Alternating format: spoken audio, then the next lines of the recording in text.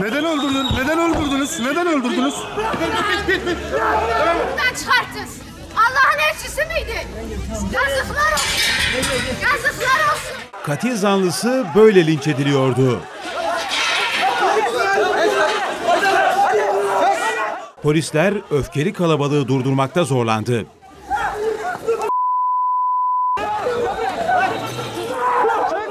Bu öfkenin nedeni daha 18 yaşında olan bir gencin öldürülmesi. Ekmeğini yiyen insana ihanet yapıyor, kalkıyor. Bu adamı koruyorsunuz. Harbi böyle bir dünya. 18 yaşındaki İbrahim Yerli Bursa'da yaşıyordu.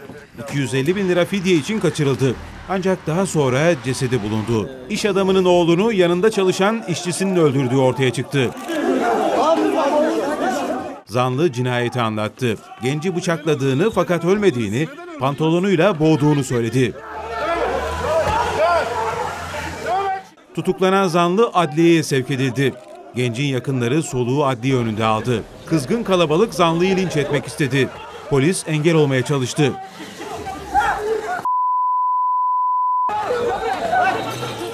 Polis zanlıyı adliyenin arka kapısından çıkardı. Neden öldürdünüz? Neden öldürdünüz?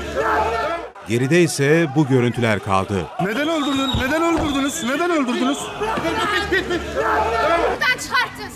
Allah'ın elçisi miydi? Yazıklar olsun. Yazıklar olsun.